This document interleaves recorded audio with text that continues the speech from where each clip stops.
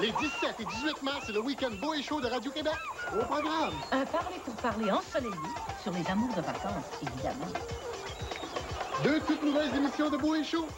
Des films brûlants, Les Feux de l'été, L'été meurtrier, Le Clap et Si les soleils pour les plus jeunes. Les 17 et 18 mars, c'est le week-end beau et chaud de Radio-Québec.